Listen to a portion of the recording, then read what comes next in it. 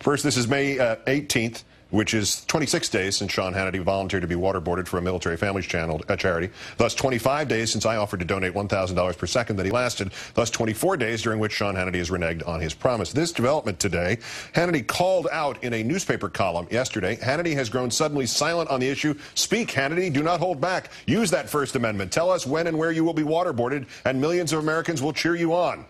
Not a big deal, except that was in the pages of the arch right wing paper, the Pittsburgh Tribune Review.